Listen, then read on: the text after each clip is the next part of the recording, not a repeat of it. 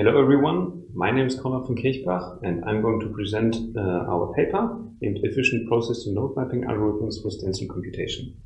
This is joint work with Markus Lehr, Sascha Hunold, Christian Schulz from the University of Vienna and Jesper Larsson Träff. So, what are we talking about? Um, imagine you are given um, a distributed system like depicted in this figure here, where we have different uh, entities like a compute node and each entity can have uh, several other entities like cores, for example. And now we have an application depicted here with P processes that can communicate with another. And these uh, processes should be mapped onto the machine. Now, the general notion is that if two processes are, uh, that communicate with another are located locally on a machine, that would benefit the communication performance.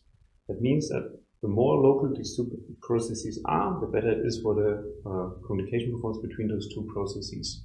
Now with P processes, we would ideally find uh, or want to find a mapping onto the distributed machine such that the overall communication performance is uh, maximized. Um, this is not a new problem, it is actually an old problem and a lot of research has been done about it. Um, there are many techniques, for example, general strategies that use sequential graph partitioning, like the Vienna mapping technique, or the Vienna mapping tool.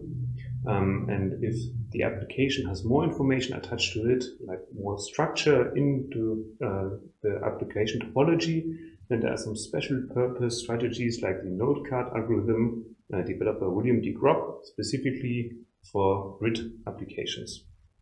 Now, when we're talking about grid, what do I mean with a grid? So a d-dimensional grid is basically defined by its dimension sizes. Um, so the dimension sizes go from 0 to d minus 1. We have an example here of a 4 times 3 grid along dimension 0 and 1. Um, and uh, the grid vertices in this context represent the processes. Now it is very important to note that there's a direct correspondence between the process ID and the coordinates in the grid. So process i will always have the same coordinates. For example, process 0 will always have coordinates 0, 0 in the grid. Um, and the size of the grid is then simply the product of all the dimension sizes. That is the number of uh, processes we have in the grid. It is only natural to assume that if we have such a grid, we can also introduce some very structured communication patterns or local communication patterns. Think, for example, of partial differential equation solvers that use a finite um, difference technique to approximate the, the continuous space. Um, in such a case, we could use a stencil with k neighbors, where k is the number of communication partners per process. And since we're already talking about coordinates, we can also specify these uh, k co communication neighbors with vectors. These vectors will describe the relative position in the grid from the process itself, the relative offset per dimension, so to say. Uh, we have this example here in green, so every process here will communicate with the process one down and one up. So in this case, for P1, we will communicate with P0 and P5. It is important to note that we generally assume that the number of communication partners is small in comparison to the overall grid size, and that every process has exactly the same communication neighborhood. Now, for our problem description, we need a few additional terms.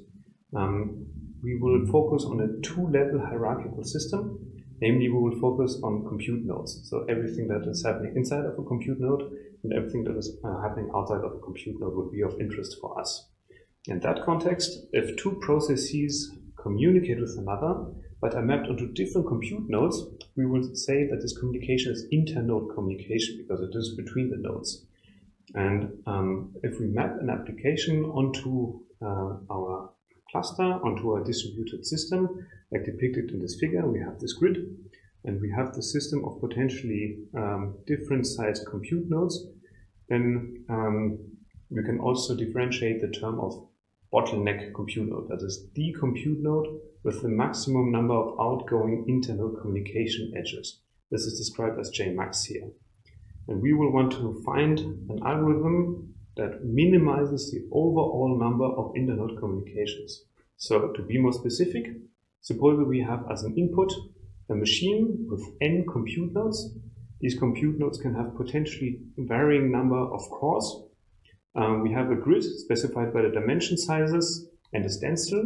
Then we want to find a mapping of these processes in the grid here onto the compute nodes such that the total number of inter-node communication is minimized. Um, so the question, the question sounds easy, but it turns out it is actually not. So this problem is NP hard. It is not optimally solvable in a, a reasonable amount of time. We have proven this using the reduction of the multi-way partitioning, a strongly NP-hard problem, to our grid partitioning problem, and it is already NP-hard for 2D grids.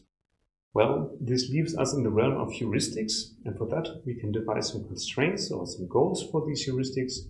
Namely, we want um, mapping algorithms or mapping heuristics that are scalable meaning that we want to minimize the amount of communication and synchronization between the processes in our grid. And ideally, these algorithms should be algorithmically fast, meaning they run in polylog uh, time of the total number of processes p down here. With that, we want to uh, dig right into it and present the KD tree, our first algorithm. This algorithm is oblivious to the number of cores per node this has some advantages and disadvantages, that it only uses the ID of the process and the stencil to compute its core ID. It works by recursively splitting the dimension sizes into two equal parts. And this will lead into densely packed mappings, meaning that processes that communicate heavily with another will be mapped together. Let me demonstrate on this 4 times 3 grid. Suppose the stencil is just implied by the grids, uh, uh, by the grid, so each process communicates with its closest neighbors. Then we will first, or we will try to locate process 7. We will do so by partitioning the grid along the first dimension, dimension 0, uh, into two parts. Since we are locating process 7, we will see that on the left-hand side of the grid, uh, there are only six vertices. That is why we must recurse on the uh, right-hand side of the uh, split. And uh, when doing so, we will try to need, uh, we will try to find a new split in this side. We will find one along dimension one. Uh, we know that uh, down here there are the processes 6 and 7, and up here there are the processes 8 to 11. So we know that the pro process 7 must be located down here.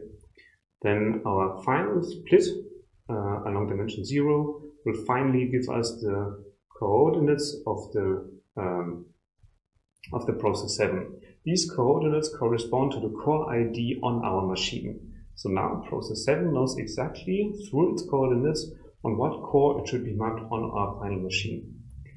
This algorithm works very well because it is oblivious to um, the number of cores, but it can um, create jagged partitions. In order to address that problem, we introduced the hyperplane algorithm, it works very similar to the, uh, KD tree, but it takes into account the uh, number of cores per compute node. So it will calculate one input number from the possibly uh, different number of cores per compute node. Um, this is then done, uh, this is then used to recursively split the grid into two parts, both having a size which is a multiple of this input number n. Um, the dimensions on which we would split are chosen according to the stencil and the dimension sizes. The main difference towards the KD tree is that we are able to sh uh, shift the splitting hyperplane along a dimension. Let me demonstrate again on this 4 times 3 grid. Suppose we want to map this application onto three compute nodes, each having four cores. Then um, the, and the neighborhood is again specified by the grid itself for simplicity. Then we will first try to partition the grid along the dimension zero. Now we can see that the left-hand side and the right-hand side are not multiples of four. That is why we need to shift the hyperplane until we find a suitable split along a dimension. Um, unfortunately, we don't find one along dimension zero, so we will continue at along dimension one. And we will see here that the bottom is already a multiple of 4 and the top also. So we have first we have found our first split. If um, we look at the bottom side, we see that it's already uh, 4. So this side is done. And we will recurse on the top side. And in the second iteration, we will find this final split. This leaves us with uh, such a mapping where all of these processes here will be mapped to one compute node each. This hyperplane algorithm works well if the dimension sizes of the grid are well factorizable by this input number n that we have calculated in the beginning. If it is not, if the dimension sizes is, are not well factorizable by n, this can lead to very skewed partitions. In order to avoid that, we introduced our last algorithm, the stencil strips algorithm, and it works very differently um, in comparison to the first two algorithms. So first, it will cut the grid into strips. Each process can then calculate uh, the, the strip it belongs to, and um, we will impose an assignment direction along the strips so that we can fill up this grid with the, script, uh, with the strips greedily. This is shown uh, on this 4 times 3 grid. So here we have um, our two strips. Namely on the bottom, this is one strip with height 2, and on the top, this is another strip with height 1. We will impose um, an assignment uh, fill-up direction to ensure connected partitions, namely, in this case, in such a way. Using this uh, fill-up directions, we can then assign the processes individually to the strips, and this will induce a mapping for itself. Now, in order to find the actual height of the um, strips, we will look at the stencil. So suppose we have a process on a grid and an arbitrary stencil. Now, in order to find very compact mappings in grids, we normally use cubes. Um, and if you're talking about arbitrary stencil, we cannot use cubes, of course. That is why we use the expansion of the stencil in each direction. Uh, this is depicted here. So along dimension 0, we have this expansion. Along dimension 1, we have this expansion. And we're, what we want to do is to calculate a distortion factor towards an ideal hypercube. So basically, how we must stretch a hypercube such that this new rectangle bounds the stencil. This is what is depicted here. And with these distortion factors, we can calculate this compact mappings and the uh, side length of the strips using a recursive formula. Um, this was our last uh, algorithm and we will proceed now by showing the experimental results. So we implemented all the three algorithms in MPI, specifically for the MPI Cart reorder function or for MPI Cartesian communicators.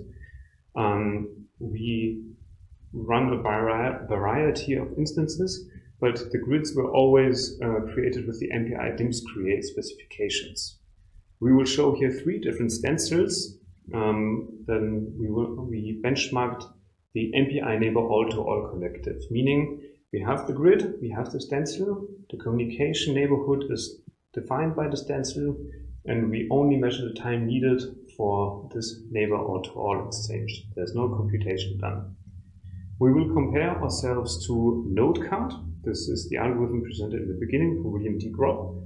It is specifically designed for these MPI Cartesian communicators. It uses a factorization on the number of cores per compute node and the dimension sizes to find a suitable partitioning of the grid, but it is stencil oblivious. It cannot take into account different communication patterns. As another comparison, we will look at the Vienna mapping tool. This is a very general um, unstructured graph partitioning tool uh, that uses um, graph partitioning and a variety of methods like local search to improve on solutions. And finally, we will also compare ourselves to consecutive process assignment, which we call blocked. This is often used uh, on clusters and the default mapping of MPI, where processes are just mapped consecutively to the cores of the machine.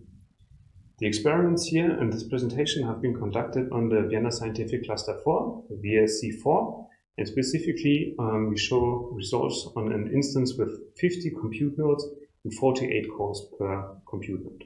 This resulted in grids with dimensions 50 and 48. So first off, we're going to show the results of the stencil that is also presented in the description of the algorithms.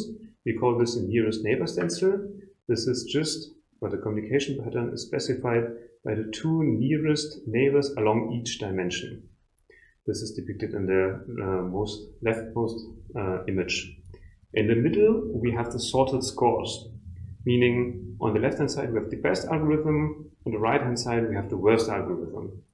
The blue column depicts the total number of inter-node communication that the different algorithm induce. And the orange column is the bottleneck value of each algorithm. What we can see here is that our algorithm stencil strips and hyperplane even outperform this very powerful general mapping tool, followed by KD tree, followed by the Nodecart algorithm that was specifically designed for these kind of communication patterns. Um, and obviously the blocked assignment performs very badly. If you look at the communication time, specifically at the speed up over the blocked mapping, we can see that our algorithms can lead up to speed ups of 3.5 for certain message sizes per neighbor um, and all, always outcompete uh, the communication time needed uh, when doing the reassignment with the Nodecart algorithm and are sometimes better than the very powerful general Vienna mapping tool. Now, if you look, for example, at another stencil, namely the component stencil, um, which is named so because it will create disjoint components in the grid, mm, we can see a very interesting results, namely that the KD tree and stencil strips algorithm, they both manage to find optimal mappings for this instance. This is followed by the Vienna mapping tool, followed by the hyperplane. Here we can see the restriction um, of the hyperplane to the computed input n. Uh, this is followed by Nodecart and then the blocked algorithm. So if we look again at the speed up for different message sizes per neighbor, we see that our algorithm can obtain speed ups, speed ups of up to 8, which is very high. We consistently outperform Nodecart and uh, the Vienna mapping tool uh, for some message sizes. Last but not least, we will look at the nearest neighbor with hop stencil this is just the nearest neighbor stencil augmented with two additional neighbors along one dimension. And now if you look at our scores, we can see that Vienna mapping outperforms our algorithms, but not by so much. This is followed by hyperplane, stencil strips, and KD tree, and all of our algorithms outperform the Nodecart algorithm uh, by a vast amount. In terms of communication time, we can see that um, our algorithms are somehow in the ballpark of Vienna mapping. We managed to find speedups of up to four in comparison to the block mapping, and we consistently outperform the Nodecart algorithm. Um, so even though Vienna mapping is, is good in the actual objective function value, we are in some message sizes somehow in the ballpark. The great disadvantage of the Vienna mapping tool is that it is sequential in its nature. And if we look at instantiation times, we will see for this instance this was conducted on 100 compute nodes with 48 cores each in the nearest neighbor stencil that the Vienna mapping tool took over 400 times uh, more time than our uh, algorithms.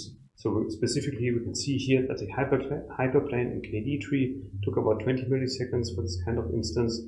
Stencil strips, which is a bit more complicated, took up to 50 milliseconds, and we are in the ballpark of the Nodecart algorithm. So we can leverage the performance or we can obtain similar performance like the general tool Vienna mapping in a much uh, in much faster time. Um, as a conclusion, I want to say the problem is NP hard. It is not feasible to calculate the best solution. We have introduced three new heuristics that obtain very good results for different kind of stencils. Um, we cannot say that one algorithm is better than the other. All the algorithms have different strengths and weaknesses.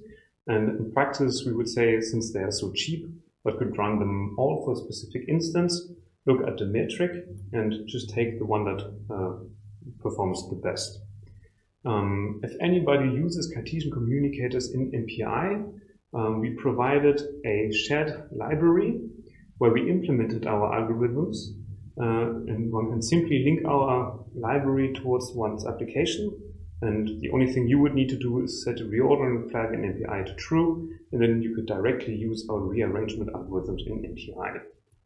If you're interested in more data, we are happy to say that we provided a um, technical report that can be found in arXiv. And uh, there we included some tables with more data, more stencils, and more message sizes. Um, finally, I want to uh, name the references of our competitors. This is the algorithm Nodecart presented by William D. Gropp. And this is the Vienna mapping tool uh, developed by Christian Schulz and Jesper Larsson Träff.